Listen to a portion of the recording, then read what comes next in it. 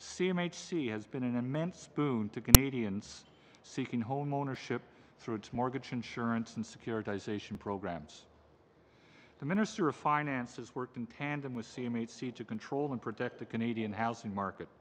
Since 2008, pursuant to the credit crisis, the Minister has introduced a number of changes to moderate consumer debt through mortgage lending. We have supported these changes. In October 2016, the Minister announced more changes which affect the mortgage industry. These changes included increasing the qualifying rate for five-year mortgages from the mortgage contract rate to the Bank of Canada rate. This change effectively reduces the amount of mortgage a borrower seeking a five-year or longer term mortgage can borrow.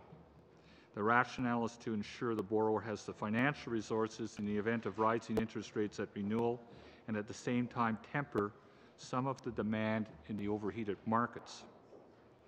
While we are supportive of this change, it must be noted that this change only affects insured mortgages, which is less than 30% of the overall market. The remaining 70% of the market, which is uninsured, is not affected. As the average insured mortgage in Canada is $300,000 and mortgages in excess of a million dollars cannot be insured, this change will reduce the affordability of housing for first-time homebuyers in the softer markets in the country, prairies, Quebec, Atlantic Canada, and will have a minimal effect on the overheated markets in Vancouver and Toronto. From a policy perspective, if the intent of the stress, is, stress test is to protect highly leveraged buyers from themselves, then all consumers should be subject to the stress test to ensure a fair marketplace. Um, OSFI could achieve this by amending the required underwriting guidelines. Okay, and do you think the new mortgage rules are beneficial? I know you had some criticism of them, but yeah. Uh, I take the view, and, and, Canada Guaranty takes the view, that the successive measures the government has taken over the years has been a net positive. Um, we support the concept of a stress test. We think that's appropriate. We think that's prudent.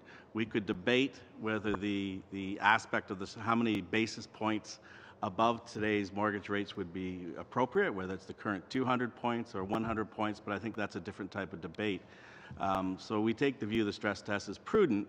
We would remind the committee, though, the stress test is being applied only to the insured marketplace as opposed to the entire marketplace. So it's, it's that level of prudency is being applied to about 30% of the marketplace.